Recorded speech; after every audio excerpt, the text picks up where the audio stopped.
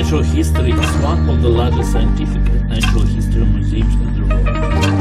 It, it's located in the very center of the city, 150 meters from the Teatralna metro station. You must have at least two hours of time to visit. The visit will be interesting not only for children but also for adults. The museum was created in 1966 as a single expositional territorial complex comprising the geological, paleontological, zoological, botanical and archaeological museums. The museum is located in an old house with expressive original architecture. On an area of 8,000 square meters in 24 halls, over 30,000 exhibits have been collected to tell about the origin, structure and evolution of the Earth, its flora and fauna, about its past and present, about the history of the material culture of tribes and peoples inhabiting in the area of Ukraine. The central place in museums is occupied by a complex of dioramas, 30 landscape expositions